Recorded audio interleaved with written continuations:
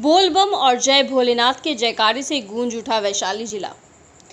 श्रावण मास की दूसरी सोमवारी को भी भगवान शिव को जलार्पण करने के लिए कांवड़ियों की उमड़ी भीड़।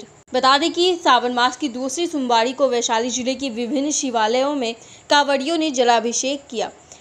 बीती रविवार को कांवड़ियों ने पहलेजा घाट से जल लेकर सोमवार को विभिन्न शिवालयों में जलार्पण किया। वहीं देखा गया कि कांवड़ियों को किसी तरह से कोई कठिनाई नहीं उठानी पड़े इसके लिए वैशाली जिला प्रशासन के द्वारा चुस्त दुरुस्त व्यवस्था की गई थी। कांवड़ियों को आने में किसी तरह की कोई कठिनाई न हो, इसके लिए वाहनों के लिए अलग अलग एक लेन लगाई गई थी। वहीं कहीं वाहनों की लंबी कतारें भी देखी गई थी। वहीं कांवड़िया जल भरकर जाने के दौरान भगवान शिव के गाने पर थिरकते हुए भी नज़र आए। वैशाली ज़िले के पातेपुर प्रखंड के पातेपुर थाना परिसर स्थित बाबा चक्रवाती धाम में कांवड़ियों ने जलाभिषेक किया। इस मंदिर परिसर में मेले का भी आयोजन किया गया है। इस मेले में टावर झूला ब्रेक डांस झूला आदि भी देखने को मिला। इस मेला परिसर में बहुत सारी ऐसी चीज़ें हैं जो आपको घूमते हुए कब समय बीत जाता है पता ही नहीं चल पाता।